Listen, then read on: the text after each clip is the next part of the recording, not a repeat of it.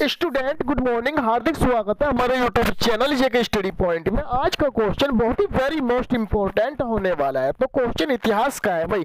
History का question लेकर आया हूँ। अगर आप इतिहास टेंथ या ट्वेल्थ क्लास में पढ़ रहे हैं, बहुत ही वेरी मोस्ट इंपॉर्टेंट क्वेश्चन होगा। अगर आप हमारे चैनल पर नहीं तो हमारा चैनल सब्सक्राइब करके बेल आइकन प्रेस कर दीजिए, जिससे कि लेटेस्ट नेक्स्ट वीडियो आपको मिलता रहे।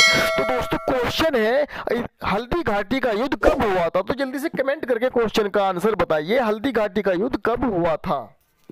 कमेंट कर दीजिए क्वेश्चन का आंसर और हमें आपके कमेंट का बहुत बहुत बहुत इंतज़ार रहेगा। मिलते हैं नेक्स्ट वीडियो में। Good bye